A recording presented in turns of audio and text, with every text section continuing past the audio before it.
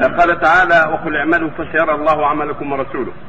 والمؤمنون هل الميت يعرف ويعرض عليه أعمال أهله؟ وهل يعلم بهم عند الزيارة؟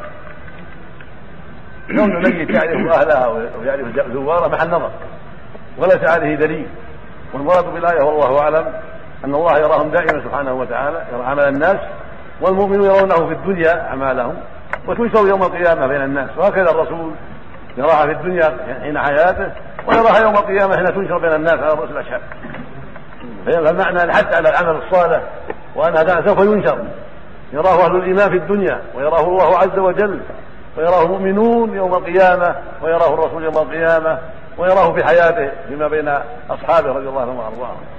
فالحث على العمل الصالح وإظهاره لأن هذا يشرف الإنسان ويعمل الصالحات ويجتهد في الخيرات فإن هذا سوف يراه المؤمنون في الدنيا ويثنى عليه وينشر له ذكر طيب بين الناس وفي الاخره ينشر بين الناس ويقال هذا عمل فلان وينادى عليه ويدخل ميزانه وله خير عظيم يوم القيامة.